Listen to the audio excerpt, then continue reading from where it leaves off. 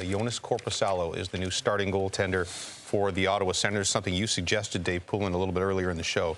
At four years per and five years, your immediate reaction to the signing start here? I love it. I absolutely love it. It gives Matt Sogaard time to just settle. You've got Anton Forsberg. You've still got an injury issue with him, but this solidifies a position that Ottawa's been looking for the last couple of years. They got off to slow starts because of their goaltending. They've been through a bunch of them.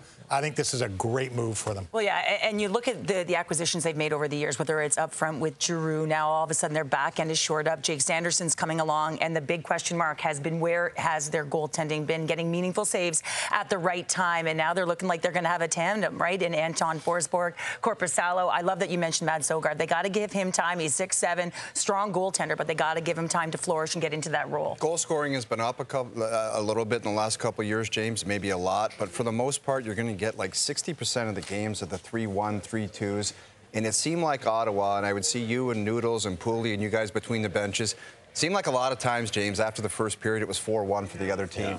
Yeah. And Brady Tkachuk had to go out there and fight somebody to try to get back into the hockey game, and then the goaltender couldn't shut the door. They have to mature as a group to stay in those hockey games, and it all starts between the pipes. If you don't have a goaltender, you don't have a chance. So hopefully this solidifies that area. Korpisalo, of course, spent most of his career with the Columbus Blue Jackets, came over to L.A. last year and was very effective as the Los Angeles King. Worth noting that he had had some injury issues, and a couple years ago his performance wasn't quite as good. Mm-hmm.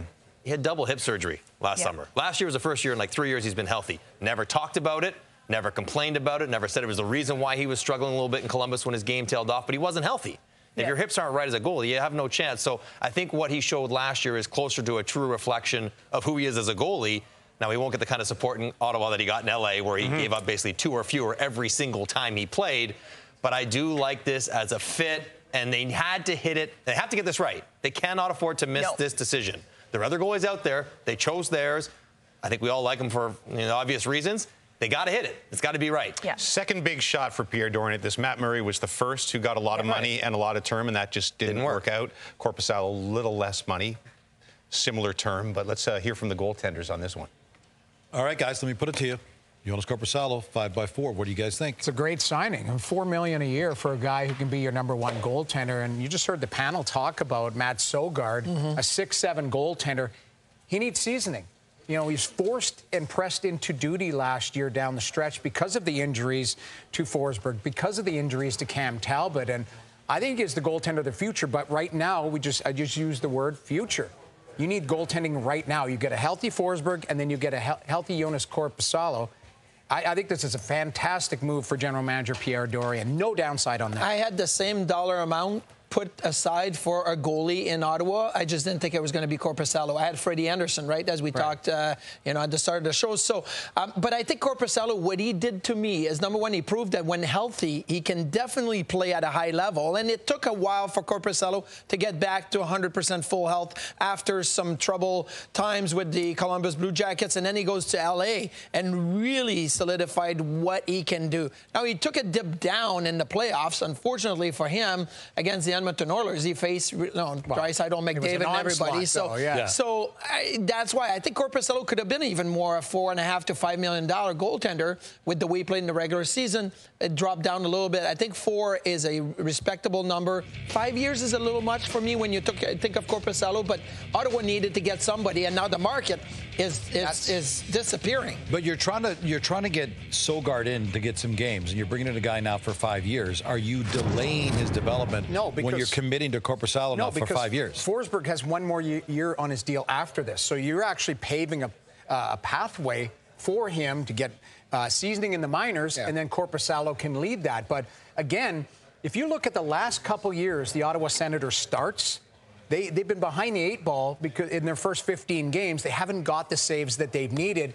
They couldn't do it last year because of the injury to Cam Talbot. He was out for the first five weeks. So Forsberg had to run with the ball. If you have two guys that are capable of playing right from the drop of the puck, and if you look at their schedule, I think the first 13 out of 17 games is on home ice. You can really make some hay to start the season. I think this is a great sign. The way Korpisalo plays, really athletic, very quick lateral, flexibility, all of that. So obviously that's the way the goaltenders are going, like Vasilevskiy, Shesterkin, Saros. Like they're much more athletic. You look at a Hellebuyck, who's more of a structure goaltender. You look at a Freddie Andersen, who's more of a structure goaltender. So it, it was a choice there, right? What do we want? What do we think fits with our team? I think they looked at Korpisalo saying that it fits more with the way that the Ottawa Senators play, a little bit more chaotic in front. Uh, but let's not forget that Anton Forsberg is also coming back from double knee surgery. So how is he going to be? Maybe that takes a little bit Needs longer little to extra time. recover, and Sogaard might Yeah. play some games this year uh, with the Ottawa Senators I, as well. I think he's going to. Keep in mind there was 119 goalies that played in the league last year. Ottawa had seven of them. Yeah, I know. had seven guys that played in net with them, including Guys Dylan in different Ferguson. colors gear, Well, too. it is. It- it's unfortunate. You need stability at that position. You need a three-headed monster, not a two.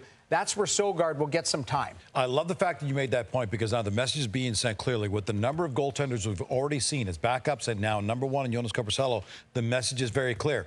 You need a goalie, get on it quickly before the music stops and there's no chair for you to sit on. James? Uh, gentlemen, thank you. Let's get more reaction from the nation's capital. Our Senators reporter Claire Hanna is with Bruce Garrioch.